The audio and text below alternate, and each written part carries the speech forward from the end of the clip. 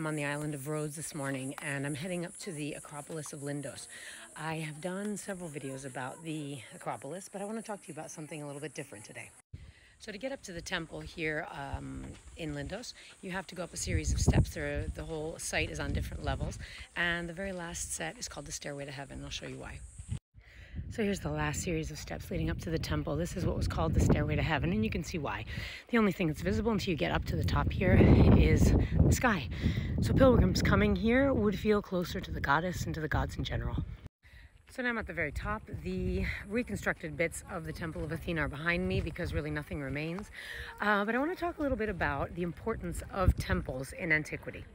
So, just like with today's churches or other religious uh, structures, certain ones are more famous and more visited than others. So, for example, a local church dedicated to St. George here on the island of Rhodes is certainly not as famous as, for example, uh, the, I don't know, Notre Dame in Paris. So, people uh, tend to visit the ones that are most famous.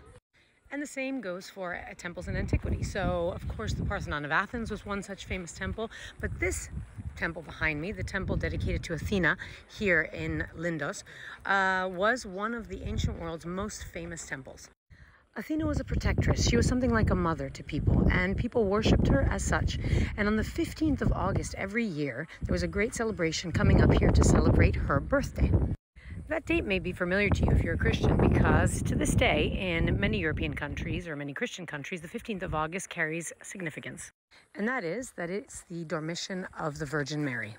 And this really isn't a coincidence. The reason for it is that when the new religion began gaining a foothold, people missed the old celebrations, the old uh, traditions. And so the early Christians decided to sort of transfer certain of those traditions to the new religion. So some of the attributes of Athena being a, sort of like a mother goddess, a protectress, were uh, transferred to the Virgin Mary, as were some of the feast days. So the 15th of August, for example, is uh, in the Greek Church, uh, in Italy, in Spain, a very important uh, festival of the Christian Church dedicated to the Virgin Mary, though, nowadays. There are many examples of how the new religion, Christianity, supplanted the ancient pagan religion and how certain traditions were kept because people enjoyed them and they were used to them. And these are things that connect us to our ancient ancestors.